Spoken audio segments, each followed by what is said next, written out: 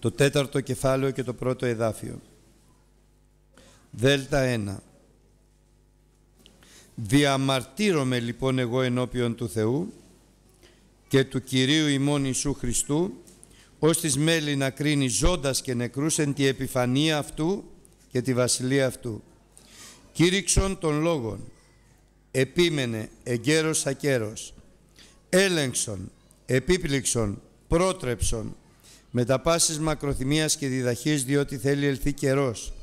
Ότε δεν θέλουν συνυποφέρει την υγιένουσαν διδασκαλία, αλλά θέλουν συνεπισορεύσει σε αυτούς διδασκάλους, κατά τας σιδείας αυτών επιθυμίας γαργαλιζόμενη την ακοήν, και από μεν της αληθείας θέλουσιν αποστρέψει την ακοήν αυτού, αυτών, εις δε τους μύθους θέλουσιν εκτραπεί. Σι δε αγρύπνης πάντα, κακοπάθησον, εργάστη τη έργον Ευαγγελιστού τη διακονία σου κάμε πλήρη διότι εγώ γίνομαι ήδη σπονδί και ο καιρός αναχωρήσεώς μου έφτασε. Τον αγώνα των καλών ηγονίστην, το δρόμο μου ετελείωσα, την πίστη διετήρησα, του λοιπού μένει σε με, ο της δικαιοσύνης Στέφανος, τον οποίον ο Κύριος θέλει μια αποδόση εν εκείνη τη ημέρα, ο δίκαιος κριτής και όχι μόνο εις εμέ, αλλά και εις πάντας και μάλιστα το κείμενο δεν λέει επιποθώσει, όσοι ηγαπικώσει την επιφάνεια αυτού, όσοι αγαπάνε την επιφάνεια του Κυρίου τον ερχομό του Χριστού. Ο Απόστολος Παύλος λοιπόν λίγο πριν φύγει στέλνει μία επιστολή στον Τιμόθεο για να του υπενθυμίσει ότι η ζωή του συνεχίζεται. Η ζωή του Τιμόθεου συνεχίζεται. Έχει συνέχεια. Η δική του η ζωή τελειώνει, του Παύλου. Αλλά η, η ζωή του Τιμόθεου συνεχίζεται. Και πρέπει να συνεχιστεί καλά. Πρέπει να συνεχιστεί σύμφωνα με το θέλημα του Θεού. Γι' αυτό η προτροπή του είναι αγρύπνη εις πάντα κακοπάθησον. Μη φοβάσαι κακοπάθησον. Εργάσου το έργο που σου έχει δώσει ο Κύριος. Την υπηρεσία σου κάντη πλήρη. Γιατί μέσα στο λαό του Θεού θα υπάρξουν άνθρωποι που θα ζητάνε διδασκάλους να τους διδάσκουν σύμφωνα με τις δικές τους επιθυμίες. Με αυτά που ζητάνε, με αυτά που θέλουν, με αυτά που ποθούν. Αυτά θέλω να μου πεις. Και με μεγάλη προσοχή θα ακούνε γιατί τους αρέσουν αυτά που διδάσκουν αυτοί οι διδάσκαλοι. Αλλά το αποτέλεσμα; Αποστρέφουν την ακοή τους από την αλήθεια σε μύθους παράξενους στρέφουν την προσοχή τους ώστε η ζωή τους να είναι μέσα στην παρουσία του Θεού, μέσα στην Εκκλησία, αλλά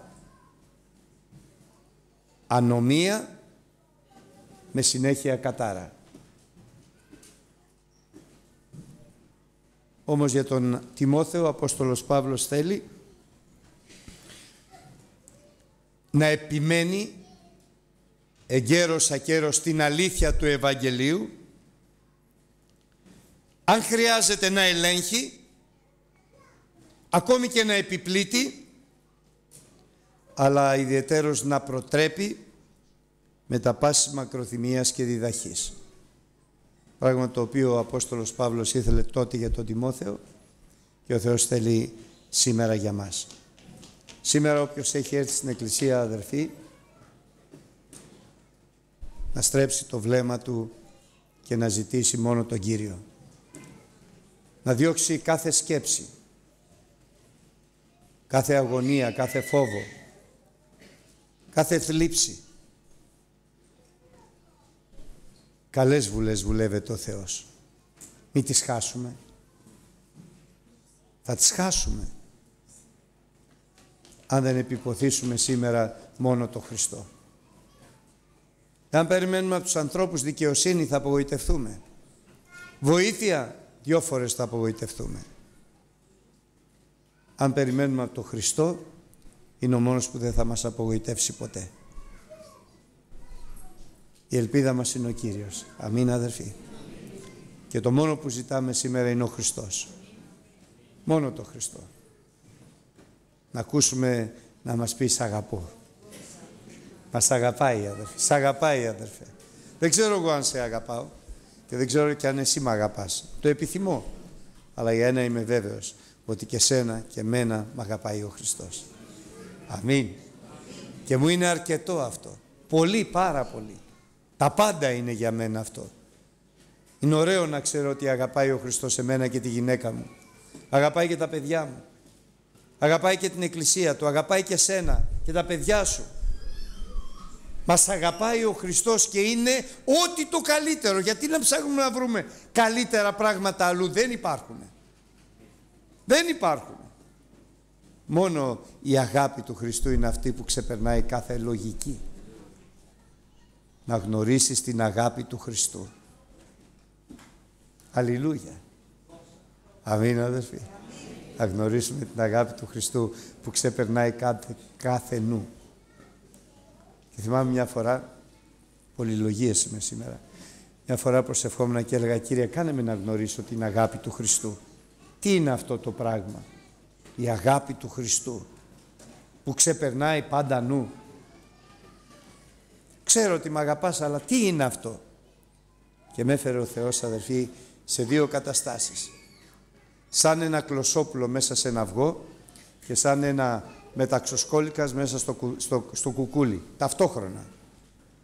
Και ήμουν εκεί και αισθανόμουν μια ζεστασιά όμορφα, αλλά ήρθε η ώρα που έσπασε το τσόφλι και τρύπησε το κουκούλι και βρέθηκα σε ένα φως. Δεν, γιατί δεν μπορούσα να διανοηθώ ότι υπάρχει το φως αυτό.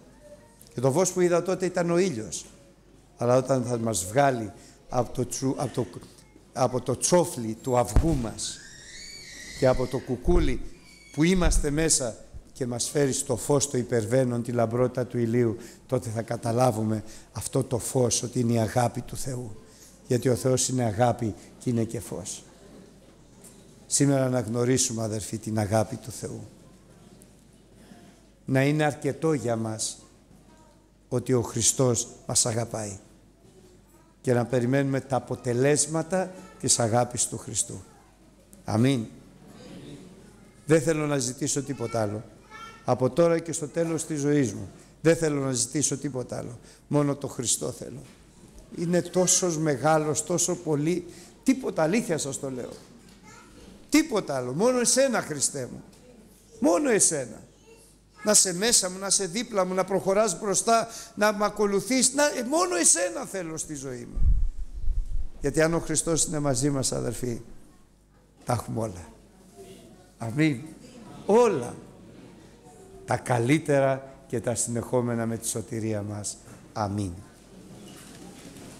Τώρα να σταθούμε στην παρουσία του.